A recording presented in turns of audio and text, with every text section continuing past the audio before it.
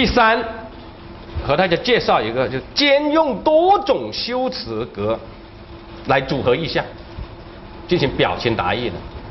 比如说这一首《鹤筑青玉案》，大家也非常熟悉吧？对不对？嗯。凌波不过横塘路，前面呢简单介绍一下啊。凌波在这里是指凌波仙子。点出曹植的《洛神赋》，洛水女神呐，凌波微步，在水面上可以走的啊。洛水女神是个仙女，所以以后呢，就用凌波来代替仙女美女。横塘是个什么地方呢？横塘是贺铸当年隐居的地方，就在现在的苏州境内，啊。他一大早起来，看见有个美女从远远的地方走过来了，走过来，走过来，是吧？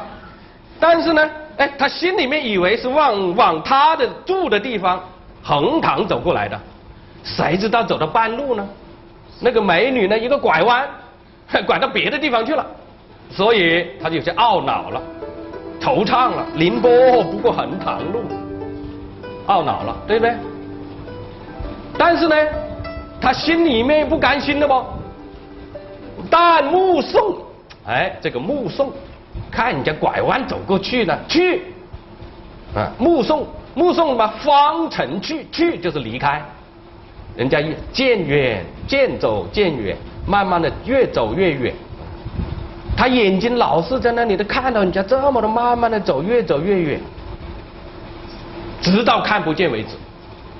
方程就在这里就指代那个凌波仙女，嗯，因为古代的仙女身上呢都是挂有香囊的嘛，就好像我们现在喷香水一样的是吧？嗯，好像今好像谁的那个小说里面有一个楚留香的，男的都喊楚留香，那么女的不更加嘛是吧？哎，看不见了，看不见这个女的了，你以为她还有甘心了吗？还没有甘心。他更为人家操心，他反过来，他说：“锦瑟年华谁与度呢？好像我这样的人你都不光顾，对不对？那么你的锦瑟年华你要与谁度过呢？换一句话来说，你不嫁给我，你要嫁给谁呢？好像这样的人应该嫁到哪里去啊？嫁到月桥花苑，锁窗朱户。”只有春之处的那种地方去。这里是一个什么样的句式啊？这里用了一个修辞格，是什么句式？设问句式。锦瑟年华谁与度呢？问了不？下面答，自问自答。有月桥花院那里地方去，你会嫁到。锁窗朱户。好，先看这两句。这两句那都不是一般的人家的喽，那应该是一个豪门大族这样的人家。我们再往下面读，只有春之处，一看来，他还不是一般的豪门大族的人家。一般的豪门大族呢，大家都可以看得见，可以知道他在哪里。这一个豪门大族啊，只有春天才找得到的。你进得去的话，一般都进不去的，一般的人。那应该是什么地方？在这里案子皇宫的那种地方，对吧？只有皇宫那种地方，他一嫁就嫁到那个地方去，只有那个地方才能够适合他的归属。所以作家为什么不懊恼呢？是不是？嗯，你住在横塘，横塘算什么？几间茅屋而已，对不对？嗯，好，下来，碧云冉冉横高木，彩笔新题断肠句。首先，它有一个表示时间的概念，木，那就说明前面那是很早的时间了，一早他就看到那个美女过来了，然后美女离开了，他还为目送，目送完了为人家瞎操心，一直操操到了傍晚暮。因为呢，通过碧云冉冉，冉冉是渐渐的流走，这里呢暗示了时间的流逝。哎，你看这个云，慢慢的、慢慢的在风中流走，那时间也就慢慢的流逝了，一直到木来了，横高是地点，就他住的地方。那么那个愁，那就越来越多了，越来越加深了，只好用彩笔来新题断肠句，就是写了这首诗，这首词。这里暗用了一个典故，暗用了南朝江淹的典故。江淹写过著名的作品是什么呢？恨赋别赋，两个赋。当时啊，传遍了天下，大家互相传抄，洛阳为之纸贵。以后呢，就有一段时间呢，江淹就没有作品出来了。后来呢，人家的朋友呢，见了他，他就问他，那这：“江郎啊，你这一段呢有什么大作啊？拿出来大家共享一下，分享一下，行不行啊？”另外一个呢说，好像他最近呢没有写什么，对不对？那么没有写什么，说明江郎是不是最近才尽呢？所以有一个成语叫做“江郎才尽”，就从这里来的。这个江郎就是江淹，他怎么回答呢？他说：“不是，谁说我才尽了？我的才多得很呢。想起当年，你看我写《恨赋别赋》的时候，一挥而就是什么原因呢？写的呢，就写的痛快，写的顺。是什么呢？因为当时我在梦中睡梦的时候，在梦中梦见了一位仙人，送给我一支五色彩笔。”哎，我拿他那个五色彩笔来写啊，写的真的文飞啊，文采飞扬啊，写的很顺。正因为我的才太多，写的太多了，把那个五色彩笔的那个毛，我们已经讲了，以以前的笔是毛笔嘛，对不对？那个毛头那个尖呢，头那个地方写秃了，写了这支笔呢不能写了，是不是？那怪我吗？怪这支笔不能写。所以呢，只好我最近都没写了吗？呃，这么来回答。所以彩笔新题断肠句就用了这个典故。断肠就是那种忧愁了，惆怅。啊，最后一句开了吧？试问闲愁都几许啊？一川烟草，满城风絮，梅子黄时雨。这里用了一个什么样的句式啊？又是设问，还用了什么修辞格？博喻。对了，连用了三个喻体来比喻他的闲愁。一个喻体一川烟草，第二个喻体满城风絮，第三个喻体梅子黄时雨。博喻了哦，大家来看一看，还用了什么修辞格没有？这个博喻本身也构成一种排比，对不对？博喻本身也构成一种排比。再看看还用了什么？如果大家能够把这个层面的修辞格能够看出来了，那真的是有一定水平了。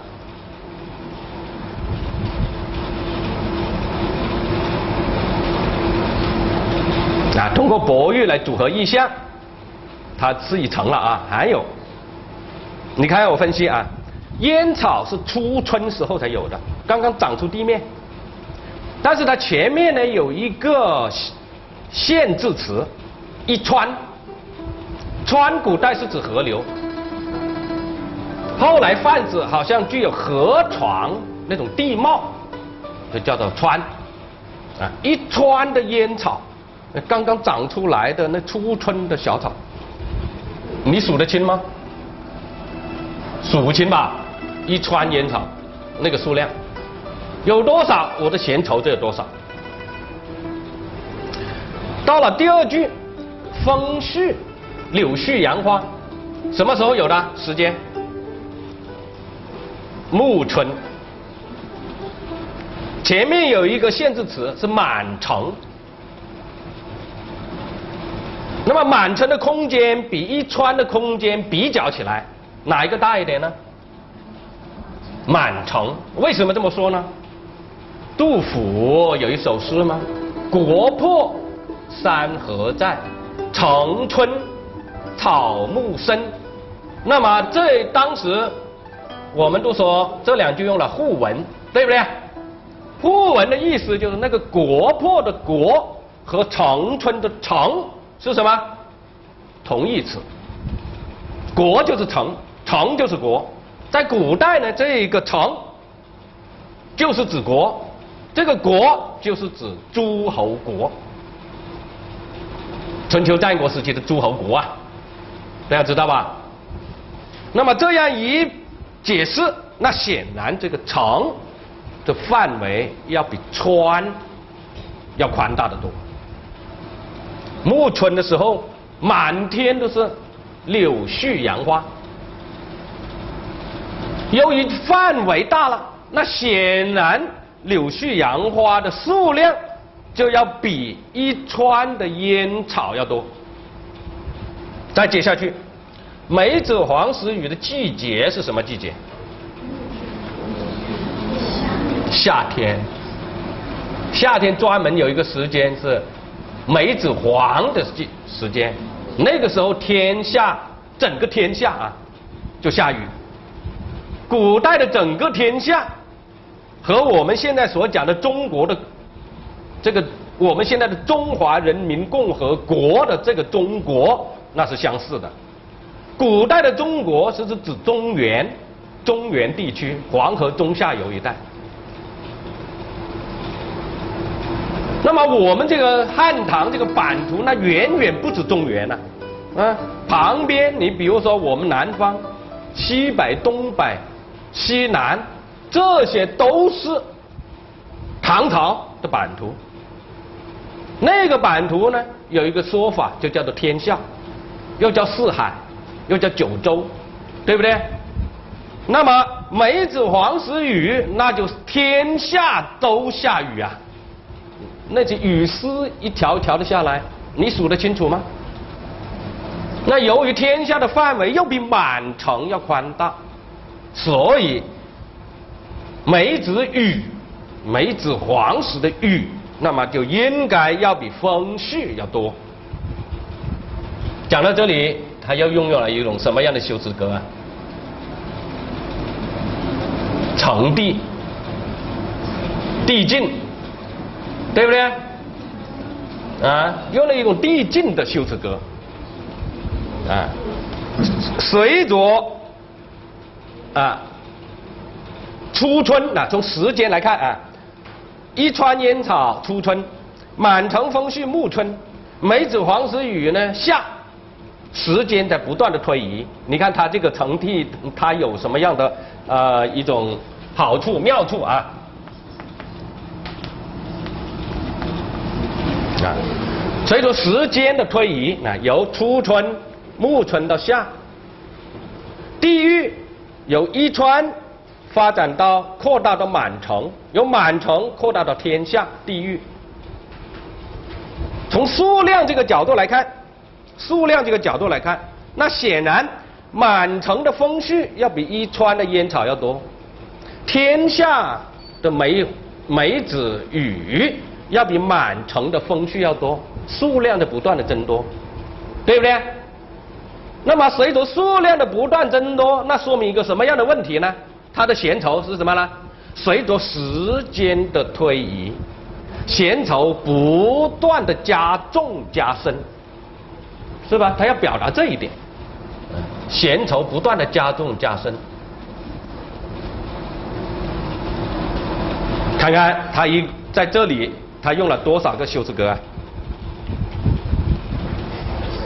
句式、设问、博弈、排比。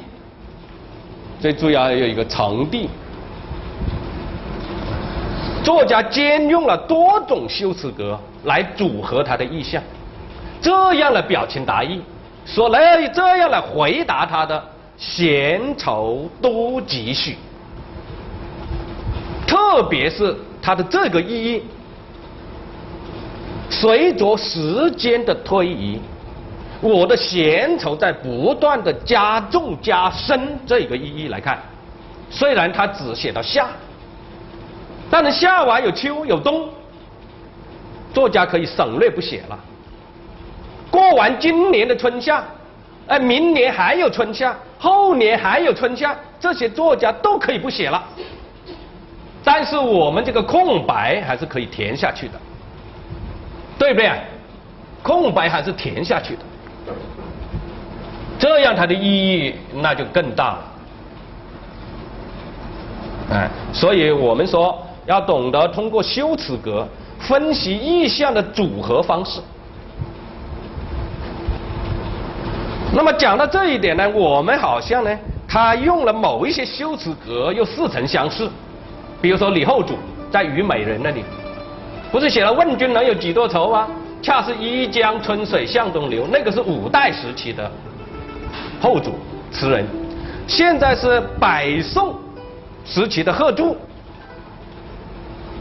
我们可以看贺铸在哪些方面继承，同时又发展了李后主的这种表现手法呢？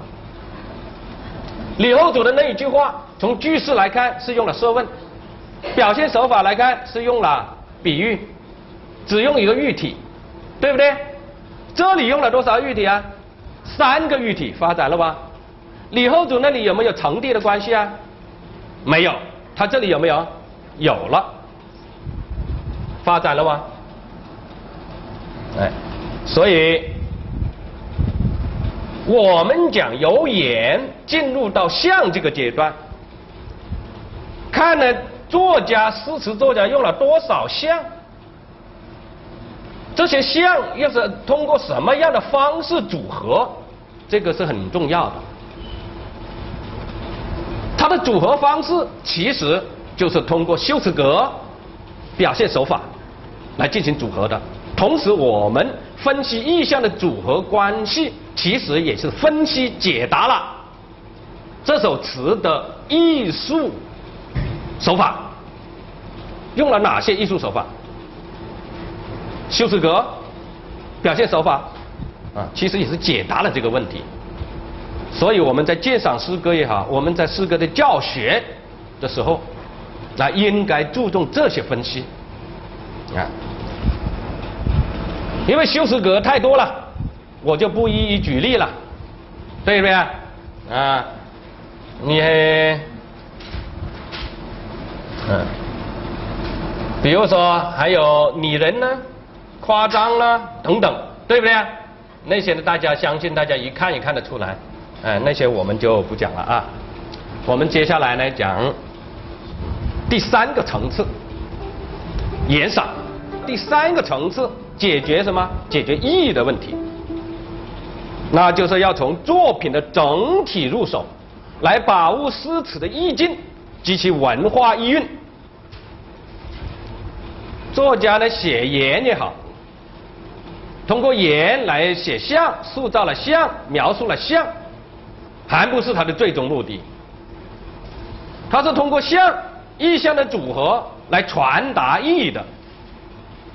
啊，那么我们来了解作品它的境界、它的意境的高低。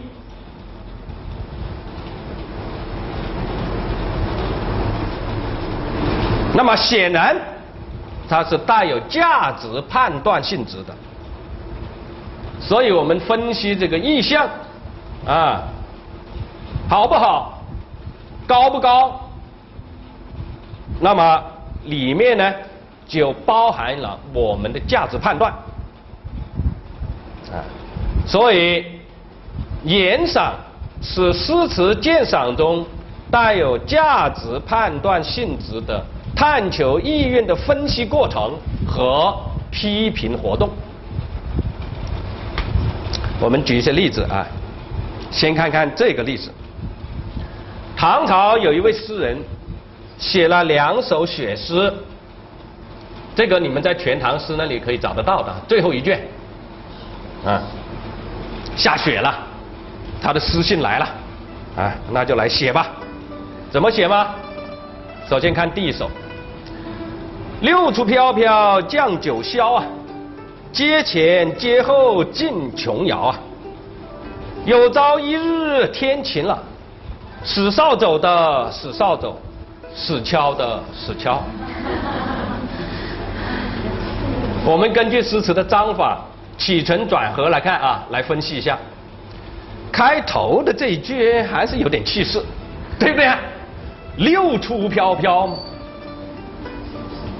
降九霄啊！你看那个雪铺天盖盖地而下，哎，这一句话境界还比较扩大，对吧？阶前阶后尽琼瑶，其中还有一个比喻嘛，虽然呢气格就小了很多，马上到了阶前阶后了，对不对啊？原来是整个天地六合，尽管如此，气格小了很多，但是他用了个比喻尽琼瑶，琼瑶是玉啊，美玉啊，来比喻那个雪，哎，还也还有点意思。到了一转的时候，有朝一日天晴朗，哎呦，好像那一个好像一个叫做什么顺口溜来了啊。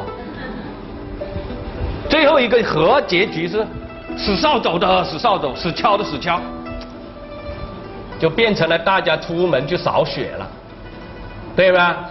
就变成个人自扫门前雪，有些拿扫帚去扫，有些拿锹去铲，完了。哎，他通过这个意象，他要表达什么呢？好像他自己也感觉到，哎呀，这个写的还没有把我所要表达的意写出来，再来一首，好吧？再写第二首，江上一笼桶，井上一窟窿，黄狗身上白，那本来人家是白狗怎么办？那白狗就身上肿了。哈哈，第一句话也还可以，江上一笼桶，哇，白茫茫的一片，哎，那还是有点境界，还是扩大不？但是呢，满世界是雪，但是有些地方呢，好像井。井有点深度，那个雪没有灌满吗？那怎么？那井上那当然看到有一窟窿哦。他又要表示那个雪下的很大很厚，所以也来比喻一下吧。黄狗身上白了，对不对啊？你看那个雪裹的那个狗，黄狗身上白了。那你本身是白狗，那怎么办？那白狗身上肿了，